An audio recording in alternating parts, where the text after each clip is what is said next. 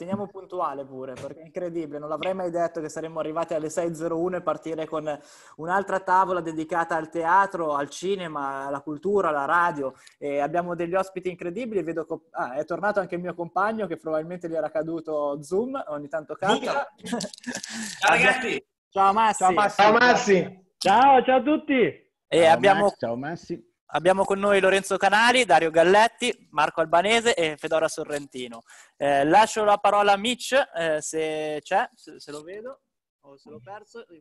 Sì, sì, no, ci sono, ci sono. Dai, non ti vedevo più. C- c- Gas, Ciao, cerca Mitch. di verificare se il live su Facebook sta andando perché mi ha buttato fuori e non riesco a capire questo nel frattempo. Certo.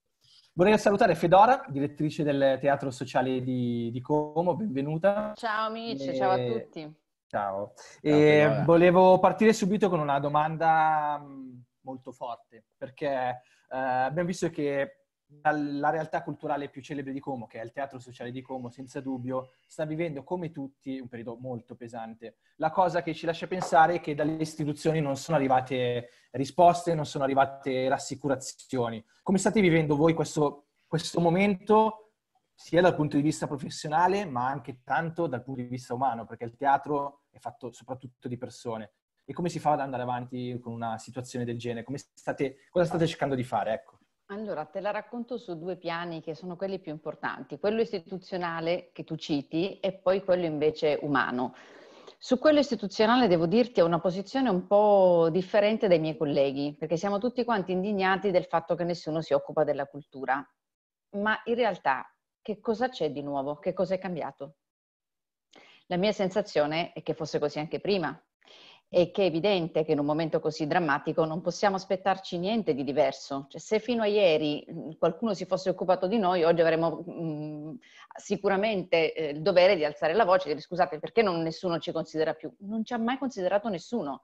O meglio, dire così poi è un po' troppo tranchant, però è evidente che noi sopravviviamo perché abbiamo dei contributi pubblici, però negli ultimi anni, soprattutto i teatri di tradizione, non parlo delle, io se devo parlare dei teatri, in due grandi categorie dei teatri italiani sono le fondazioni lirico-sinfoniche, per il pubblico che ci ascolta Teatro alla Scala, eh, il Teatro San Carlo, il Teatro dell'Opera di Roma, che sono i grandi teatri d'Italia che hanno orchestri e corestabili al, al loro interno. E poi ci sono 27 teatri di tradizione, che però hanno una natura diversa, sono il punto in cui la città si ritrova e hanno sicuramente una, un aiuto importante dal Ministero tramite il FUS, però negli ultimi anni tanto abbiamo dovuto fare di testa nostra, di, di creatività, di, abbiamo fatto in modo che la gente venisse intorno a noi. Per cui eh, questa assenza delle istituzioni non, non mi stupisce per niente. Eh, si sono preoccupata, sì molto, sono preoccupata perché il teatro è un'azienda culturale e devo dirvi, in questi giorni mi capita spesso di parlare con le persone che mi chiedono ma in teatro quanta gente lavora?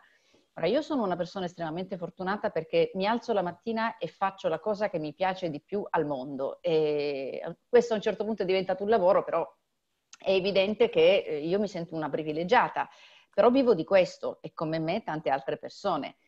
Se invece poi dal piano istituzionale passo a quello umano, la cosa più bella di questi giorni è che io sto chiamando al telefono tutte le persone che hanno aderito alla campagna Io rinuncio al rimborso e l'affetto e il senso di appartenenza che arriva da ciascuno di loro è commovente. Non vi nascondo che io due telefonate su tre piango come una matta e mentre parlo e dico grazie inizio a piangere perché la gente parla dicendo una cosa che per noi è fondamentale, dice il nostro teatro che il, è quello che abbiamo voluto trasmettere in questi anni, che il teatro non è di chi lo organizza, ma è della gente. E questa cosa, credetemi, è passata tantissimo, quindi sotto il profilo umano a parte le preoccupazioni, io cerco di raccontare ai miei colleghi tutto quello che mi torna indietro dal pubblico, che è il senso più profondo del, del, perché noi siamo in piedi e del perché dobbiamo resistere, sebbene questo sia un momento drammatico perché stare fermi un anno, perché si parla di una riapertura a gennaio 21, significa mettere a rischio la sopravvivenza del, di tutti noi, innanzitutto, ma eh, sarebbe il meno eh, del teatro, sicuramente del teatro, della gestione di un posto che resta chiuso per dieci mesi, eh, che già fa fatica a stare in piedi giorno dopo giorno.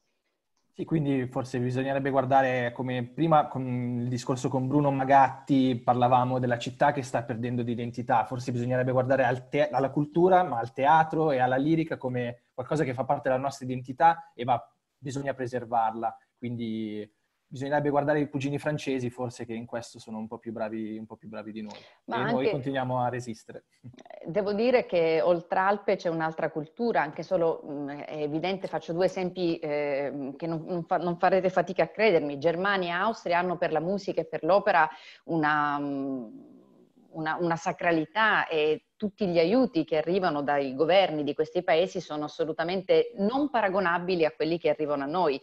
Io non so se la, la soluzione è l'aiuto del, del, governo o dobbiamo inventarci delle cose. Sicuramente eh, avremo bisogno di avere una riconoscibilità diversa. Perché io lo dico, lo dico, ma eh, spaghetti, pizza e opera, queste sono le cose che ci distinguono nel mondo. Nessun altro paese ha tutti i musicisti, i compositori d'opera che abbiamo noi. La Francia c'ha Bizet, va bene, e Saint-Saëns, poi c'è la Germania che c'ha Wagner, poi nel, dei grandi nomi, ve ne ricordate qualcuno? Se cominciamo noi, Verdi, Puccini, Donizetti, Rossini, Bellini, posso andare avanti per mezz'ora, sono tutti nostri, è il nostro patrimonio. Grazie.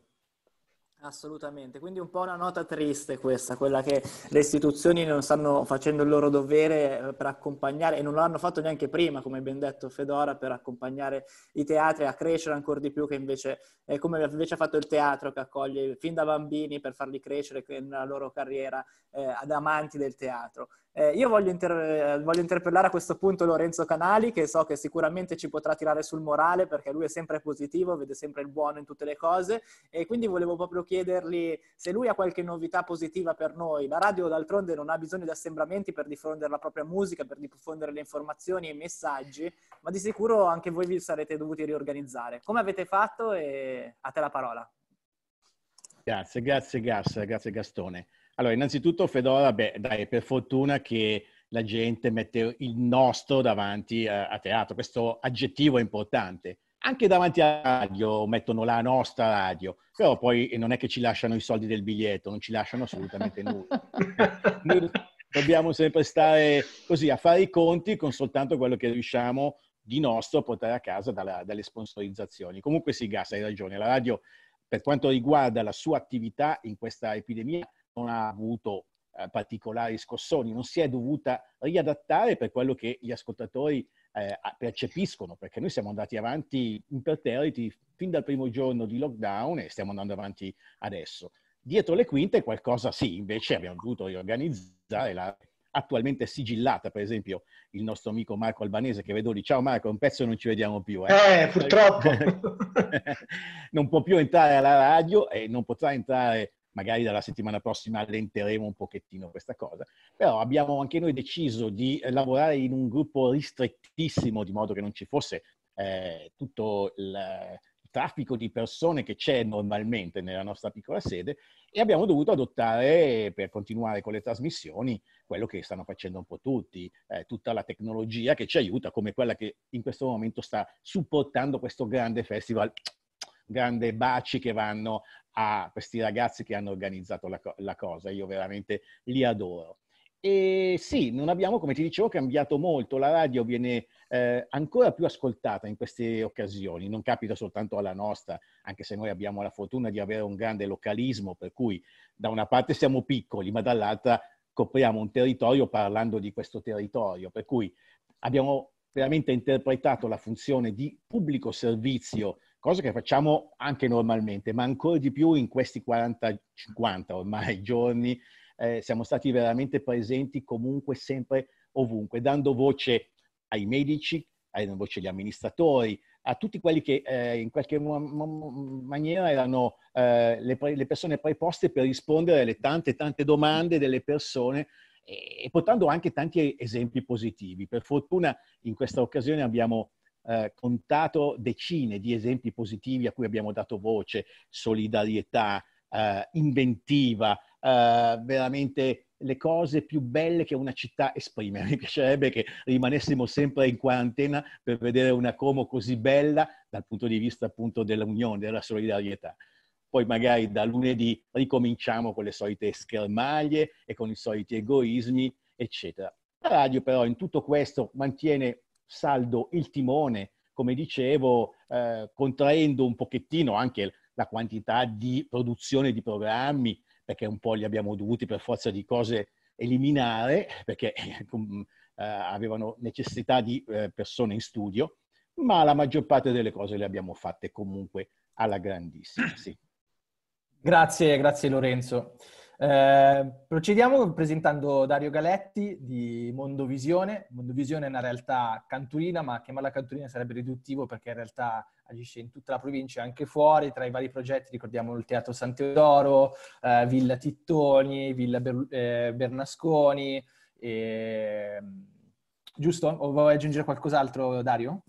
Ma, eh, sì, ciao, ciao a tutti. ciao Dario. Ciao, ciao Lorenzo, ciao Fedora. Ciao. E, sì, questi sono purtroppo i progetti principali perché tutti, come, come puoi immaginare, sono tutti fermi perché eh, eh, pubblico spettacolo, cura, formazione, service audio luci, eccetera, eccetera, eh, purtroppo in questo momento non si può lavorare. Chiaro. Io infatti avevo una domanda su, appunto su questo. Voi avete pensato, dato che voi comunque durante l'estate avete sempre fatto un sacco di proposte, mi viene in mente Villa Tittoni, eh, state cercando di proporre qualcosa, magari in una maniera diversa? Avete qualche idea in mente per, per far fronte a questa, a questa emergenza?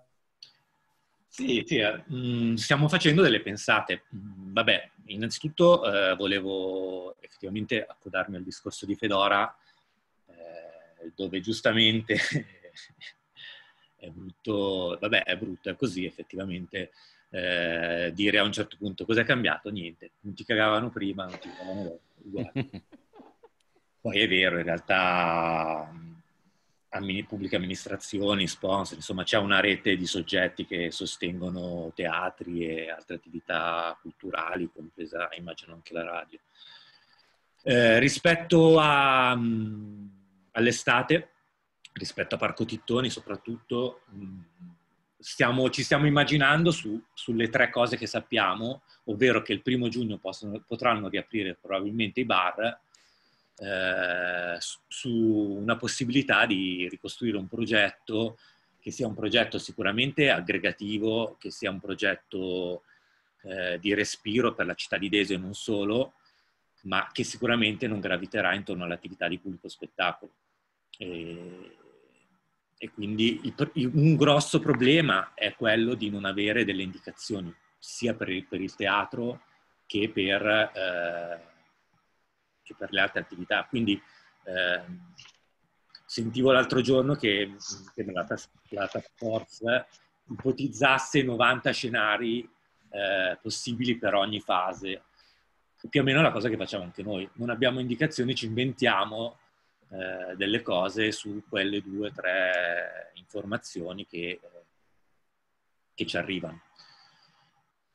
Boh, quindi io vabbè sono positivo perché insomma poi la creatività, la fantasia ci portano a trovare sempre delle soluzioni. Eh, però insomma ad ora siamo un po' così. Assolutamente, eh, quindi bisogna avere la capacità di adattarsi e di saper leggere i tempi. E con questo voglio introdurre anche Marco Albanese, eh, lo presento soltanto con il recordman di presenza in diretta live di Ciao Como Radio con il suo programma Stanze di Cinema. Ieri Massi ci ha sfidato a batterti Marco eh, con i tuoi 69.000 persone in diretta in contemporanea. Quindi con questo festival cercheremo di sfidarti. Abbiamo preso tante ore apposta perché sennò non ce la faremo mai. Bravi, avete fatto bene, ottimo. quindi abbiamo detto facciamo nove ore di diretta così magari riusciamo. Ma certo. Eh, volevo... Guarda, volevo dire, sono molto felice di essere in questa stanza perché c'è un pezzo di me e, e davvero dappertutto. C'è, c'è, un pezzo di me al teatro sociale che, che ho frequentato come consigliere per cinque anni, c'è un pezzo di me nella radio che come diceva appunto eh, Enzo ho dovuto lasciare perché in questo momento il cinema è, come, il cinema è fermo, eh, però insomma con, con, con, il cuore sono, sono, lì, sono lì con voi e, e condivido anch'io l'idea che il teatro eh, e la radio siano parte di questa città, un po' anche perché il teatro lo è davvero, il nostro teatro di tradizione è particolare, è davvero un teatro della città, dei suoi cittadini, no? Di 60 persone che, che, che lo aiutano a, a esserci e, e, a non disperdere quel patrimonio straordinario di, di, di conoscenza e, e, di amore che, che, restituisce da quel palcoscenico. E, io voglio essere anche positivo, non mi piacciono, non mi sono piaciute per niente queste, queste idee, andrà tutto bene, le trovo proprio urticanti per, per, il mio modo di vedere le cose, però certamente dobbiamo essere realisti ma, ma, positivi, ecco, dobbiamo, soprattutto in questa stanza che, come diceva Fedora, è un po' quella dimenticata, no? perché la, alla cultura nessuno sta pensando in questo, in questo momento, però noi siamo qui, noi che la facciamo e, e che, che, la, che, la utili- che, ne siamo parte, eh, siamo chiamati a, a esserci anche in questo momento a esserci ancora di più, in modo ancora più fantasioso, a cercare di capire davvero cosa possiamo fare, che tipo di, di, di strumenti possiamo utilizzare per esserci comunque, perché il patrimonio, il patrimonio culturale è quello che ci rende uomini e donne, ovviamente. Assolutamente d'accordo. Volevo infatti dirti eh, che Como per una volta era stata pioniera abbandonando un po' le sale cinematografiche della città e eh, quindi eh, lasciandole un po' andare in difficoltà prima della chiusura di tante uscite di film che dovevano uscire durante questo periodo e che sono state rimandate. E forse questo proprio posticipare le uscite del cinema e la, l'isolamento a casa ha fatto in modo che tutti scoprissero Netflix, eh, che era un po' il, il grande sfidante in questo momento della socialità e io volevo sapere un po' che cosa ne pensi di questa era di Netflix. Guarda, Netflix, se vuoi, è una sorta di cavallo di Troia.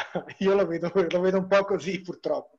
No, la realtà è che il cinema eh, nasce fin dall'inizio, fin dal suo primo giorno, nasce, nasce con un auspicio di morte. No? Eh, il 28 dicembre 1895, la sera della prima proiezione di Parigi al Café des Capucines, dei, dei, primi filmati dei fratelli Lumière, il padre dei Lumière confida a, a, a Méliès, che, che, sarà uno degli altri padri del, del cinema, delle origini, che il cinema è un'invenzione senza futuro. Eh, gli stessi Lumière eh, erano convinti che, che, nessuno avrebbe passato delle ore chiuso in una sala buia a, a guardare dei filmati. Eh, quella sera c'erano, c'erano, c'erano un po' di persone nessuno dei due fratelli avrebbe immaginato che di lì a qualche settimana eh, sarebbe dovuta intervenire la polizia a fare il servizio d'ordine perché talmente grande era il successo eh, di quella loro piccola invenzione eh, che, che, era necessario eh, fare in modo che la gente non entrasse, non si accalcasse all'interno di quel piccolo caffè.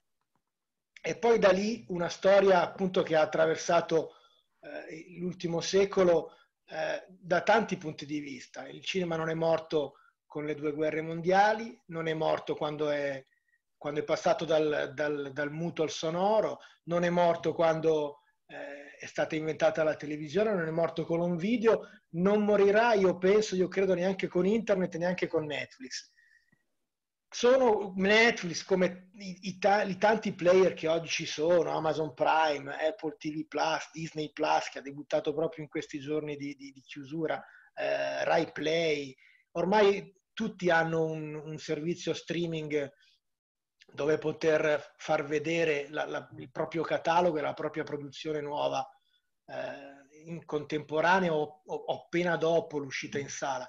Però ecco, queste sono tutte forme di distribuzione diverse che ovviamente non, non, possono, non possono, cancellare la magia del, della condivisione con degli sconosciuti in una sala buia su uno schermo gigantesco, con, eh, con quella magia che tutti quanti noi associamo a quel tipo di proiezioni e che eh, spesso, come tu hai detto, sì, eh, i cinema in città stanno morendo.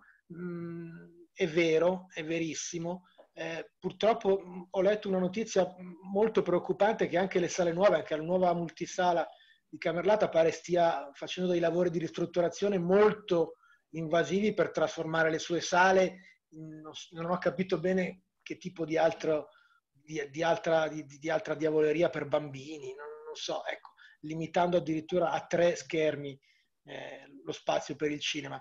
non so, io penso che sia un po' prematuro, che sia un errore. Io confido che questa condizione sarà lunga, ma sarà transitoria. Io voglio sperare che tutti quanti noi potremo tornare serenamente in una sala cinematografica e, e anzi forse secondo me lo faremo ancora con maggior gusto, con maggiore attenzione, con maggiore eh, capendo quanto è importante quella, quella sensazione, quell'emozione quel momento nella nostra vita. L'abbiamo dato forse un po' per scontato, no? Ci siamo abituati a vedere tanto cinema eh, in televisione, sui nostri computer, addirittura qualcuno anche sui, sui cellulari. Ecco, no, dobbiamo capire che c'è, c'è uno spazio adeguato per ogni cosa e quello rimarrà. Io ne sono convinto. Sì, sicuramente di me c'è un discorso proprio di socialità. Magari anche la nostra città non è una città così attenta a queste, a queste tematiche di vicinanza, di socialità, di eh, rete. Però, mi viene in mente... Dirti, voglio dirti, è vero, ma quelle due sale che tutto sono cittadine che resistono, fino a che diciamo, sono, sono rimaste aperte, eh, avevano comunque un pubblico di, molto affezionato eh, che ha riconosciuto la qualità di quella programmazione, che ha cercato di seguirlo, di, di, di essere parte di quel, di quel, movimento. Poi dopo certo ci sono problemi strutturali, di finanziamenti, ecco, lì, lì potremmo, certo, potremmo sì, fare sì. molto di più. Sì, a me viene in mente, io ho avuto la fortuna di vivere un anno a Madrid, per esempio a Madrid sul cinema e anche sul teatro c'è tanto, c'è il microteatro, c'è, ci sono dietro casa avevo un Cine Doré che era un cinema che faceva film africani e asiatici a 2 euro ed era sempre pieno. C'era la Casa Insendida dove proponevano attività culturali, la Tabacalera che era un centro occupato e se tu immagini un centro occupato in Italia è uno scenario, hai un certo tipo di, vis- di vista.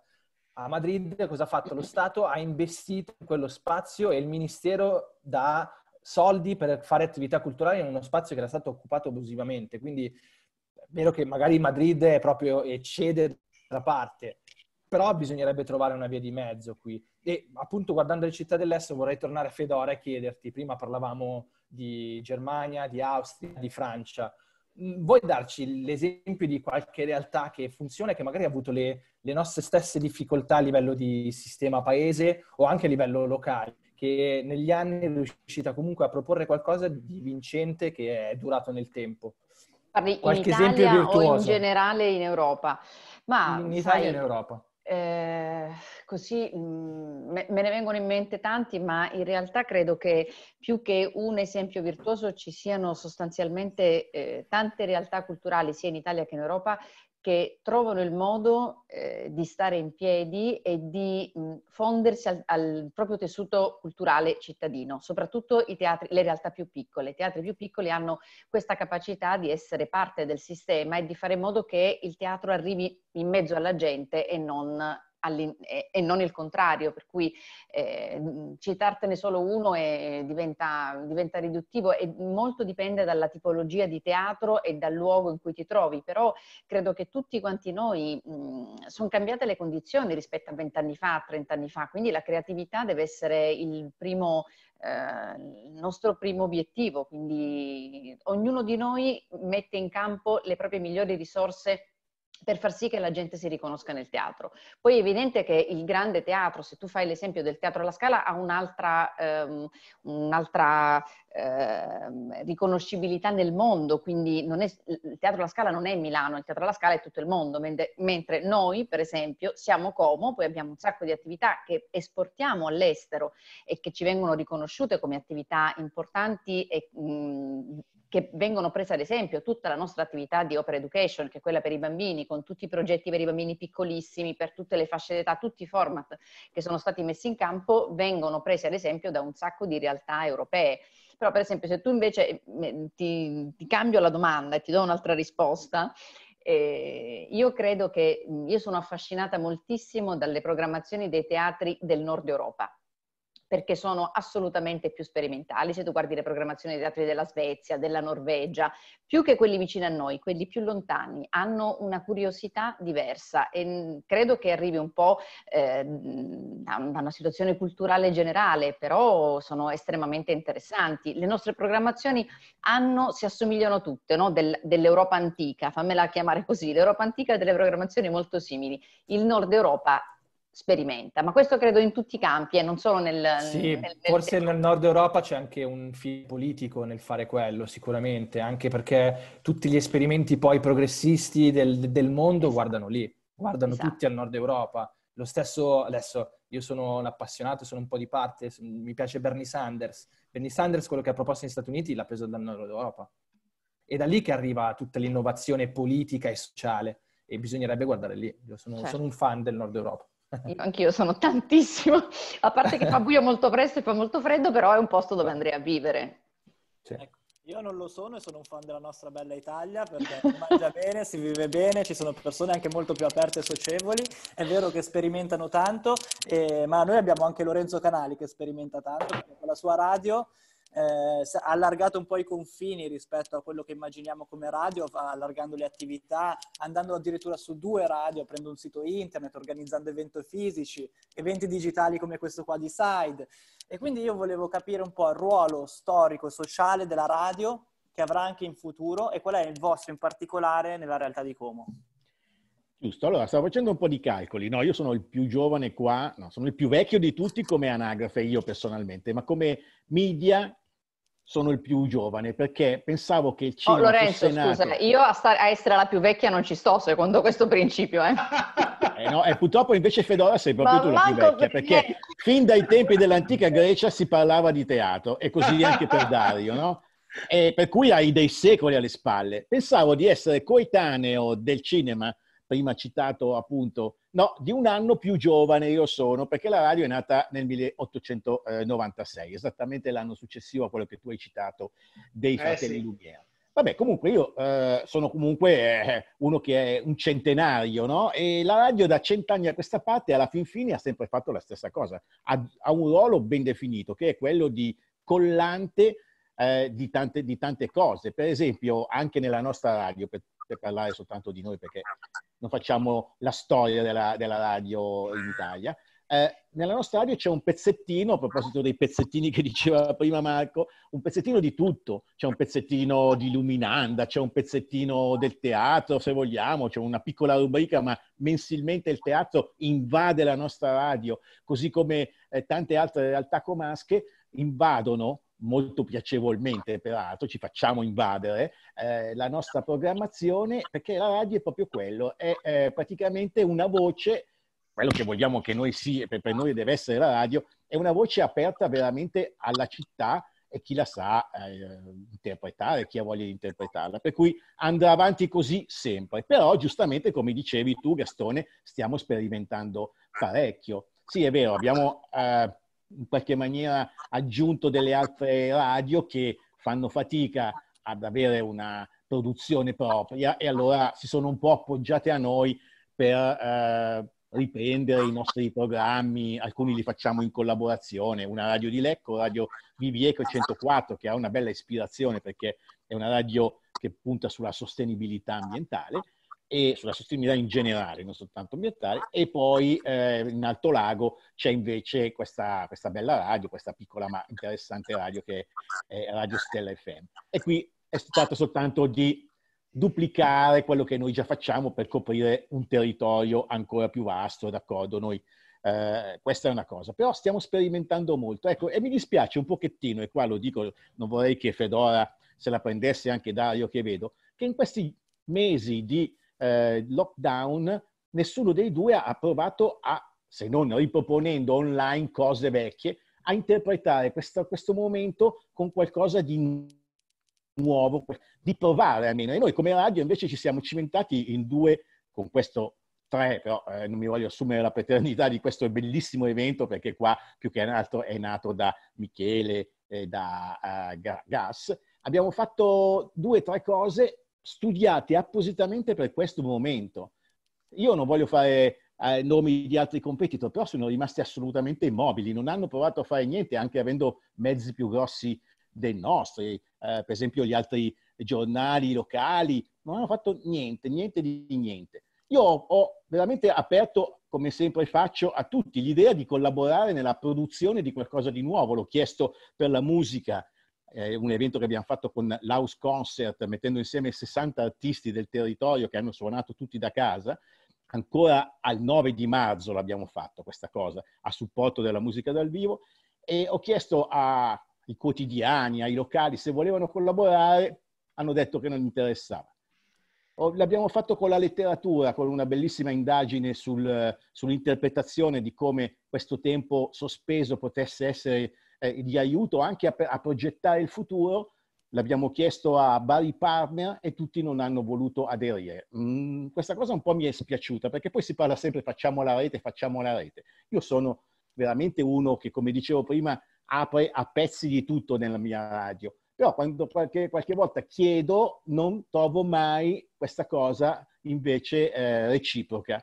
Vabbè, non, non, voglio fare nessun tipo di polemica, tanto noi l'abbiamo fatta e continueremo a provare vie nuove perché secondo me questa cosa ci sta insegnando che possiamo agire su più, più essere molto ancora più cross mediali, non fare la radio sul web, ma fare delle cose diverse sul web che si intersecano su quelle che facciamo alla radio e continuare a sfruttare più canali per fare un, un, unico prodotto certe volte, parlando un po' alla radio, perché la radio ha dei tempi, ha delle sintesi per forza di cose, il web può darci degli approfondimenti, ci mancherebbe qualche eh, partner che per esempio la nostra idea può anche portarla quando ci sarà poss- possibilità magari su un palcoscenico. Insomma, ragazzi, io eh, penso che noi abbiamo, e, e questa questo eh, cosa che stiamo facendo oggi, questo site festival ne è proprio la rappresentazione plastica, stiamo facendo qualcosa per questo momento che stiamo vivendo, non stiamo aspettando di vedere che cosa ci sarà in futuro. Poi vedremo cosa si potrà fare in futuro, ma stiamo facendo anche qualcosa adesso e siamo tra i pochi, veramente. Detto questo, Grazie Lorenzo. Eh, non so se Fedora vorrà rispondere, ma io intanto inizio a interrogare Dario, eh, perché anche lui è molto integrato con il territorio e deve far sentire la propria voce nelle realtà in cui è. E volevo sapere come si può evolvere questa integrazione e che cosa stavate pensando per il futuro. Come si può evolvere questa, scusa? Questa situazione in questo momento per farsi sentire vicino al territorio, mantenendo... Ma guarda, in realtà... Eh come cioè, in realtà abbiamo attivato eh, svariate iniziative eh, utilizzando chiaramente i canali, i vari media, eh, da una didattica che in alcuni casi è rimasta in, in, accordo tra docente e, e, e insomma i corsisti, è comunque proseguita, ad esempio, soprattutto per quanto riguarda la danza classica, i vari gruppi di teatro invece hanno deciso, abbiamo deciso di non proporre delle lezioni online perché dal mio punto, dal nostro punto di vista, non aveva senso eh, esercitare eh, una cosa che invece è fatta di contatto, eh, vicinanza, ehm, è una cosa fisica, un corso di teatro e il teatro però hanno continuato a vedersi, hanno prodotto del materiale, svariato mater- materiale è stato messo online, eh, anche su altri progetti, ti racconto una città, eccetera, eccetera. Quindi in realtà abbiamo affrontato eh, con i mezzi che avevamo la situazione. Io tra l'altro seguo molto, eh, seguo molto il lavoro che fa, che, fa, che fa Lorenzo, cioè Lorenzo che fa Lorenzo e i suoi inviati eh, nei vari reportage eh, eh, rispetto a iniziative cittadine non. Eh, iniziative, accadimenti, perché poi non sono iniziative. Dal mio punto di e, cioè, e se, mi sembra è un ottimo lavoro. Dal mio punto di vista, però, rispetto a una trasmissione della cultura e, e a una trasmissione di contenuti eh, siamo arrivati veramente a una saturazione eh, dovuta al periodo, eh, forse anche eh, che ci può anche ri- far riflettere su quello che già eh, succedeva prima. E c'è bisogno proprio di altro, c'è bisogno invece di momenti eh, di, di, di, di, condivisione, di riflessione ehm, di persona che poi eh, mi sono accorto come invece sia bello e utile eh, a volte fare delle riunioni eh, usando Skype eh, o Zoom o altri canali perché insomma mh, non si inquina, non si usa la macchina, si risparmia un sacco di tempo, a volte si riesce anche a arrivare prima al sodo. Eh, su mille altre cose, però mi sono proprio reso conto di quanto sia necessario eh, rimanere, vedersi, toccarsi. Infatti, Posso dire una cosa, Dario, velocemente? Hai ragione tu, perché effettivamente la tua forma, la tua mentalità, come quella di chi fa teatro, ha sempre in mente un pubblico di prossimità. Io invece sono 42 anni che faccio certo. cose senza avere un pubblico davanti, per cui per me è anche più semplice, capisci? Sostanziale, scusa, è una differenza sostanziale Lorenzo, il eh, vostro sì, è un certo, pubblico certo. non di prossimità. Poi ci sono diversi aspetti. Eh, il primo è, allora, io parlo per me, è vero che io in questo momento rappresento il teatro, però parlo per me. Io nel, nel teatro in streaming non credo. Credo che, sia, io, credo che sia un'alterazione eh, sotto tutti i profili. Mm, qualche tempo fa guardavo uno, un'opera in streaming eh, da, un te- da un teatro super blasonato, quindi una ripresa meravigliosa, un'opera che amo. Dopo un quarto d'ora non ne potevo più perché per quanto tu possa avere una presa di suono di grande qualità, il suono di un'orchestra e di un cantante non è assolutamente paragonabile a quello che tu senti mentre sei seduto in una poltrona col suono addosso e con i cantanti addosso. Anzi, eh, eccedo, è dannoso. Se uno non è mai stato all'opera e lo guarda in televisione, all'opera non ci andrà mai più.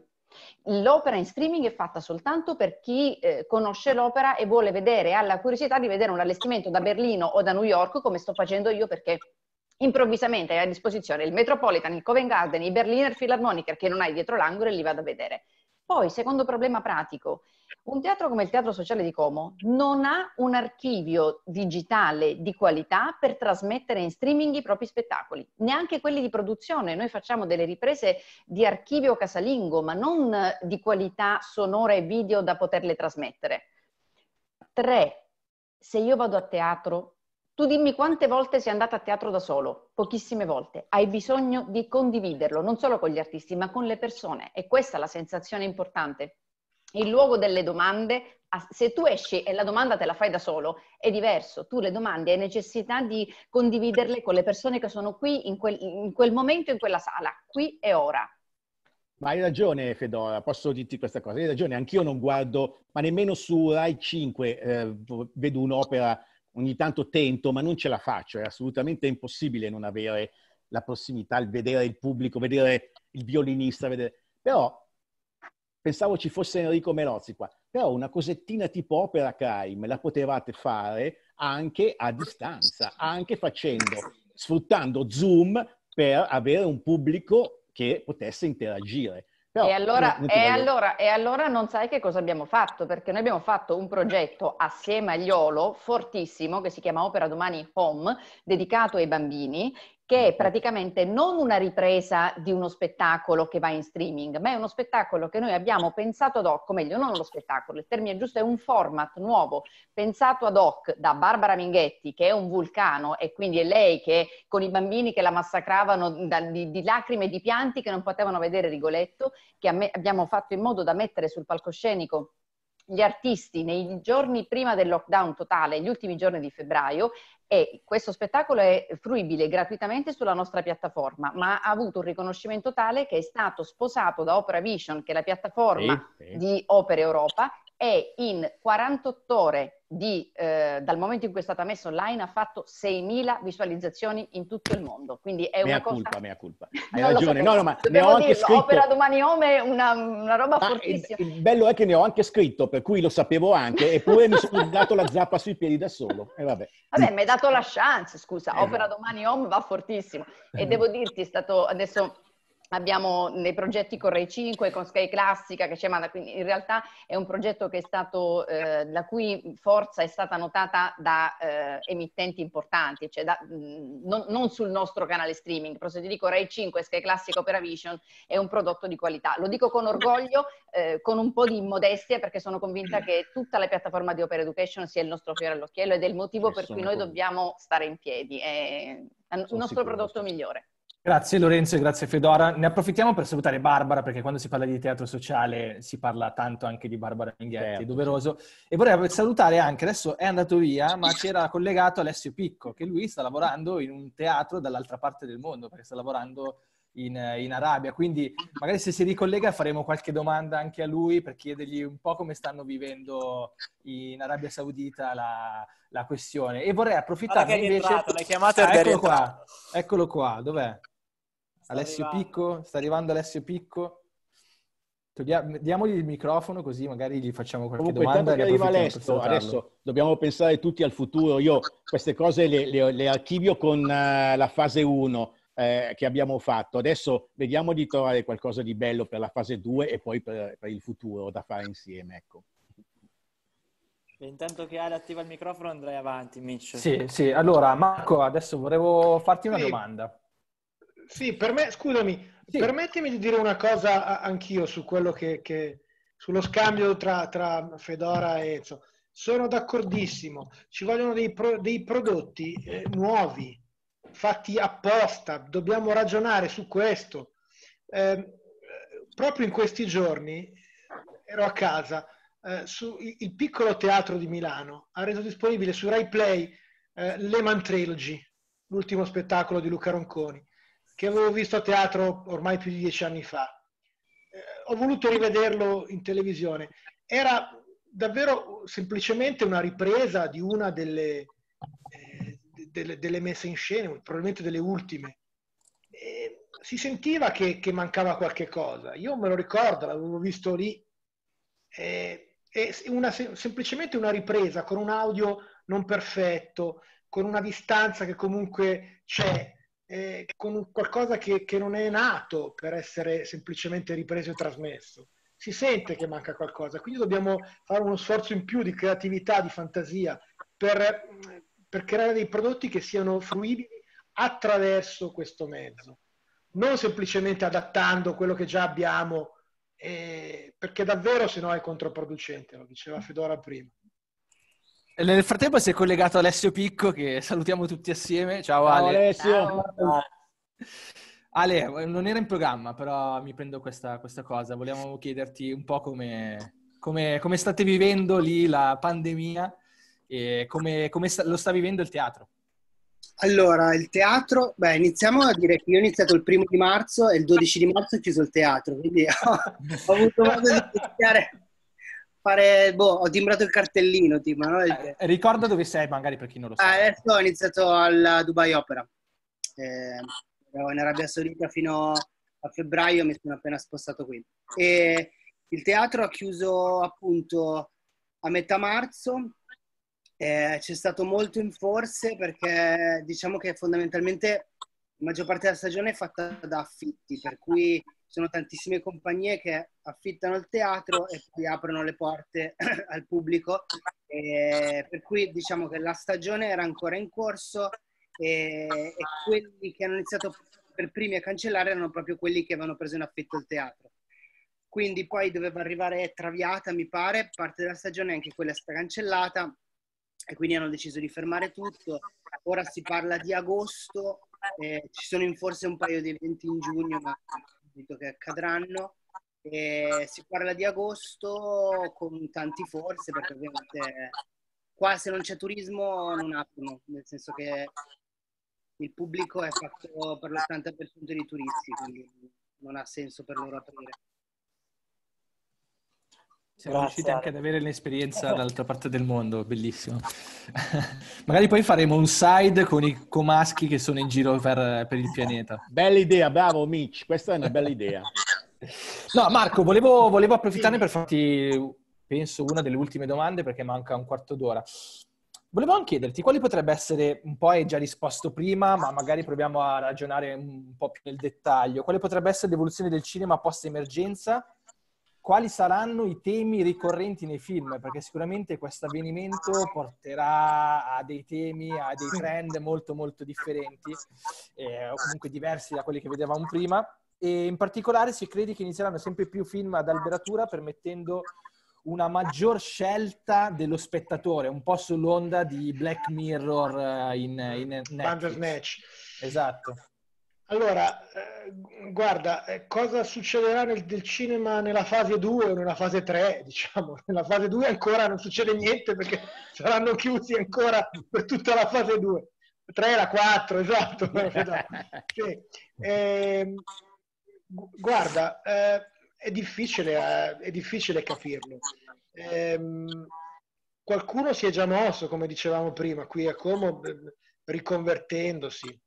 Eh, non è detto che, sia, che, che, che quando riaprirà sarà, diciamo, quelli che sopravviveranno, quelli che avranno più vita più facile saranno quelli delle grandi catene. Non è detto perché eh, le piccole sale di prossimità, quelle che hanno, che, che hanno un, un, un, tipo di attività che non si fonda su, su grandi numeri, ma su, eh, su, sull'affezione del, del proprio pubblico, sulla eh, creazione di, di, piccoli eventi, di, di, una programmazione molto differenziata, molto ripetuta nel tempo. Ecco, potrebbe essere, io penso per esempio, vicino a noi c'è, c'è Milano, c'è una realtà bellissima come, come, quella del Cinemino, una piccola sala di Porta Romana di, di, di 70-80 posti, che ha una programmazione diversissima dalla sera alla mattina, con Stupenda, cose per i bambini, aperitivi, con film che cambiano tutti i giorni, con ospiti importanti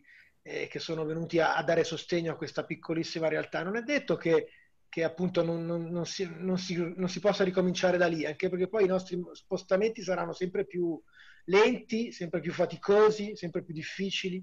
Avremo, e, quindi non è detto che, che non possa nascere da lì. Ci vuole, lo diceva prima Enzo, ci vuole però sinergia cioè, soprattutto in una città come Como, dove ci sono tante gelosie, eh, soprattutto nel mondo culturale, eh, tra, tra, le piccole associazioni e le piccole realtà.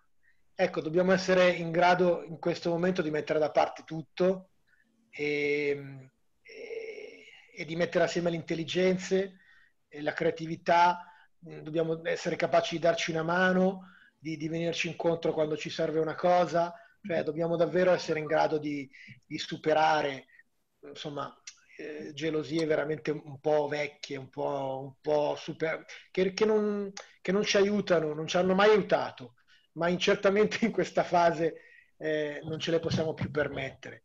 Eh, sentivo Tazza alla fine del, dell'ultimo intervento che sulla stagione estiva, no? Su, sull'Ecomo Film Festival, come farlo, l'ipotesi del drive-in, che ovviamente è un'ipotesi un po' che sembra facile, ma onestamente nasconde tante, tante insidie e, e non si improvvisa eh, dal, dalla sera alla mattina.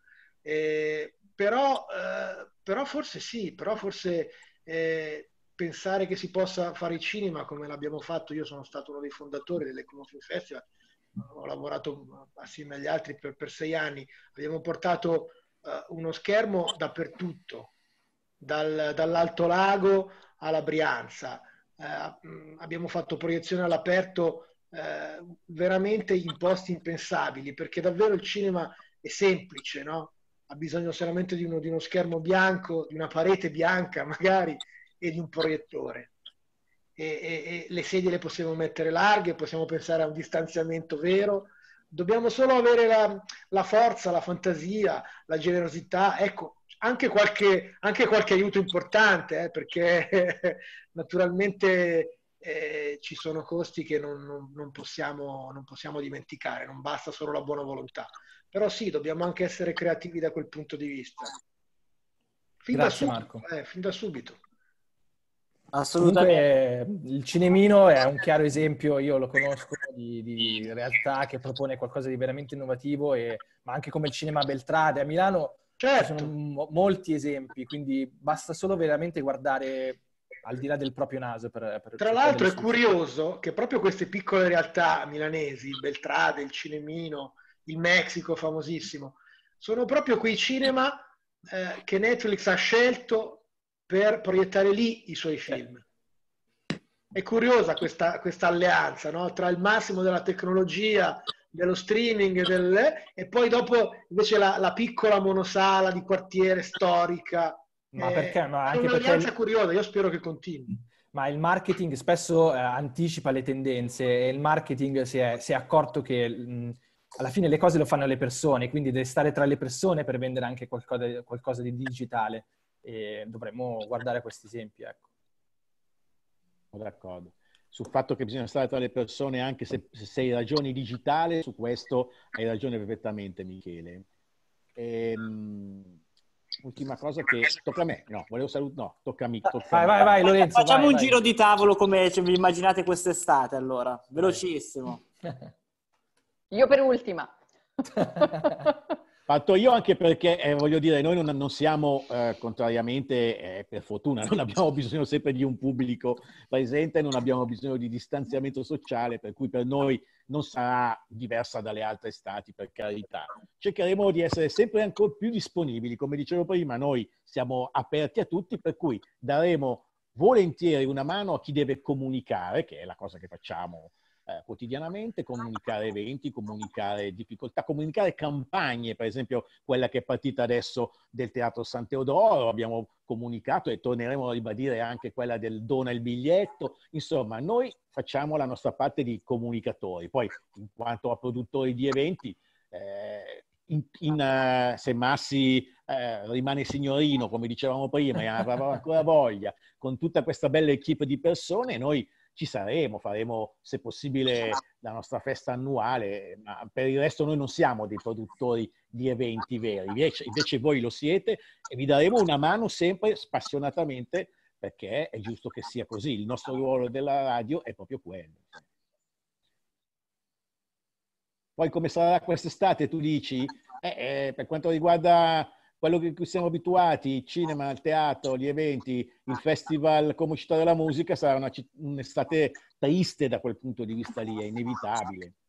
Eh, tocca a me? Guardate, io la, sto già piangendo perché la settimana prossima dovuto, avrei dovuto essere a Cannes, come mi succede ormai da 12 anni, e il festival non ci sarà eh, a settembre si annuncia una Venezia ancora incerta, ma certamente molto diversa da quella che ho conosciuto negli ultimi vent'anni. Sarà un'estate, non lo so, di, di, di... speriamo che qualcuno abbia qualche idea, speriamo che qualcuno si inventi qualcosa, speriamo che la scienza ci dia una mano, speriamo, dobbiamo essere fiduciosi da questo punto di vista. Eh, altro non mi sentirei di dire in questo momento. Dario e Fedora, volete dire anche voi sì, come immaginate sì, sì, la vostra estate? Allora, io sono d'accordo con quello che dice Marco. Noi abbiamo sicuramente la voglia di ripartire. Due mesi di fermo sembrano due anni, quindi figurarsi di pensare di riaprire a gennaio. Però quello che noi pensiamo eh, ha poco valore rispetto a quello che ci dicono rispetto, cioè, rispetto, a quello che si potrà fare. Io credo che il nostro mestiere è organizzare eventi per cui dal momento in cui ci daranno delle disposizioni chiare su quello che si potrà fare, il nostro compito sarà nel, breve, nel più breve tempo possibile organizzare degli eventi.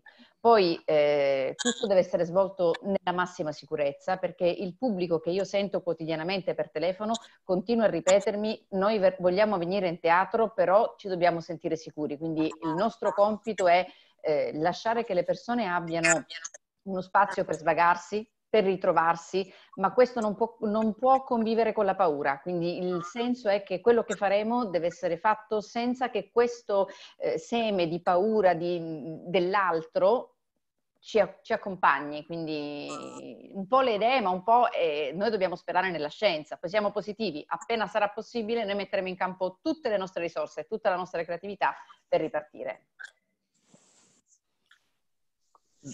Ma io invece eh, beh, sono d'accordo con gli interventi e mm, la cosa che mi immagino è, che auspico è la necessità di riattivare, perché effettivamente c'è proprio un po' bisogno di rinascere, quindi la necessità eh, e la possibilità di fare anche dei piccoli, noi ne stiamo immaginando e pensando tanti, micro eventi, ma affinché le persone possano ritornare nei luoghi della cultura, nei luoghi eh, della città, nel verde, insomma, mh, possano riappropriarsi, possano ritornare in contatto, seppure in qualche modo distanziati, ma eh, ritengo, riteniamo che sia indispensabile eh, ridare almeno una scintilla, perché penso che siamo tutti consapevoli del fatto che non sarà possibile fare eh, le cose come le abbiamo sempre fatte e che quindi non passi un'estate eh, vuota. Quindi ehm, le persone hanno bisogno di, di, di, di riappropriarsi di spazi di cultura, di, di spazi della città. Eh, sono d'accordo sul, sul, ragionamento che si faceva prima rispetto anche alla possibilità di mh, un po' delocalizzare, insomma, di andare a costruire eh, più spazi nei quartieri, più, eh, più situazioni, anche un, è vero, una parete, un videoproiettore, si può proiettare un film eh, e quindi sicuramente mh, bisognerà invent- reinventarsi eh, anche le città. Eh, boh, tra l'altro Como è anche uno spazio che si, si presterebbe molto per fare tanti, tanti, eh, tanti luoghi, tanti, tanti microeventi. Eh, certo è vero che finché non c'è un minimo di disposizione sono solo pensieri e insomma speranze. E purtroppo siamo sempre legati a, alla politica, quindi se anche loro non, non, si danno un po' una mossa, tra virgolette, se non una svegliata, per usare un termine un po' più forte. Sì, magari la possibilità di sperimentare, di proporre e sperimentare, perché ripeto, io mi immagino veramente dei micro eventi dei, dove prima si parlava di 2.000-3.000 persone, cioè prima, dove l'anno scorso si pensava, eh, magari quest'anno si può pensare a boh, 30, 40, 50, 60 persone, tanti eventi, eh, iniziative per 50-60 persone, però queste, eh, questi sono necessari per, per riattivare, riuscire, riacquistare fiducia anche rispetto a, al tema eh, del, della malattia, del, dello stare in casa e basta. Insomma. Dario, tra... Sì. Posso dire una cosa sugli artisti, in realtà, che è una cosa che sento molto, soprattutto nel nostro mondo, e probabilmente i grandi artisti del nostro mondo in questo momento non ci stanno ascoltando, però sono, mh, eh, c'è un mondo dietro lo spettacolo dal vivo, ci sono i piccoli artisti e i grandi artisti. Io devo dire che in questi mesi ho sentito una solidarietà dai piccoli artisti, da quelli che veramente fanno fatica perché avevano pochi contratti, che sono stati tutti cancellati, loro sono tutti quanti disponibili a fare qualunque cosa senza percepire compensi per aprire i teatri. Poche richieste sono arrivate invece dai grandi artisti, quindi è il momento in cui i grandi che hanno tanto ricevuto adesso restituiscano e facciano qualcosa per i piccoli, perché bisogna sostenere i giovani, i, i, quelli che in questo momento, che saranno gli artisti di domani, però vanno sostenuti oggi da quelli che artisti lo sono già su tutti i palcoscenici del mondo. Occhio che ti danno della comunista. Eh, Appunto, esatto, io stavo arrivando proprio lì. Comunque anch'io confermo questa disponibilità di artisti del territorio e non, anche rispetto a una plausibile programmazione dell'anno prossimo, che comunque noi in qualche modo abbiamo chiuso mh, mm, al buio, ma gli artisti ci stanno e hanno voglia di rischiare, hanno voglia di cambiare, sono disponibili, quindi è vero, i, pic- i piccoli, piccoli media artisti, sì. Comunque il comune l'anno scorso ha proposto Take the Seat, quest'anno possiamo proporre Take the Matter. Adesso stiamo per arrivare alla stanza che invece è più adattata a questa situazione, perché abbiamo visto come le realtà teatrali, culturali eh, come il cinema e il teatro hanno dovuto far fatica in questa emergenza. Vedremo tra pochissimo come invece le start-up sono reattive, veloci e riescono a rispondere a questa esigenza. Eh, ce n'è una che presenterà tra poco che si chiama Prometto di tornare e spero che sarà un po' anche la vostra promessa nelle nostre vite perché abbiamo proprio bisogno che torni il teatro, torni il cinema nelle nostre vite. E chiederei soltanto in un minuto a Fedora se può rispondere alla domanda di Taz che diceva come avete programmato questa giornata? Assolutamente sì. Io eh, abbiamo mm, buttato eh, via tutto il festival che dovevamo presentare il 6 di aprile. Il, oggi sarebbe finita la stagione, il 2 maggio sarebbe finita la stagione del 2020, il 15 giugno avremmo presentato la nuova stagione, ne abbiamo già fatte tre, tre versioni. Eh, quest, influenzerà assolutamente sì, in questo momento non sappiamo che cosa succederà a gennaio, credo difficile che il 31 dicembre tutto chiuso, il primo gennaio tutto aperto come prima. È evidente che la programmazione subirà un'influenza importante dalle prescrizioni che verranno date, perché ci sono delle cose che non sono fattibili non solo per il pubblico ma anche per gli artisti. La lirica non si possono tenere 60 persone in una buca che si sputacchiano uno addosso all'altro, un coro di 60 persone che si sputacchi uno addosso all'altro e quindi sicuramente saranno influenzate. Poi non so se ci saranno soltanto, saranno una grande stagione di monologhi e concerti, spero di no, e concerti solisti, spero di no. Però è evidente che qualcosa succederà e dovremmo studiare anche dei progetti nuovi fatti ad hoc, che non, non penso che siano i balletti a distanza con i ballerini a distanza di un metro, perché mi viene una tristezza, tipo ieri sera il concerto del primo maggio mi volevo sparare con questi che suonavano a distanza, però qualcosa dovremmo immaginarci di specifico. Grazie mille. Un minuto, Grazie dammi un minuto, ragazzi. Gas, dammi un minuto solo. Un minuto, un minuto. No, neanche 30 secondi. Allora, la quarta e ultima produzione che abbiamo ancora in cantiere per questo periodo di quarantena è un musical che si intitola Liberi Tutti, un digital musical. Se volete collaborare, chiamatemi perché facciamo un, un musical completamente digitale intitolato Liberi Tutti, ok? Bellissimo, bellissimo. Ma dobbiamo cantare, Lorenzo?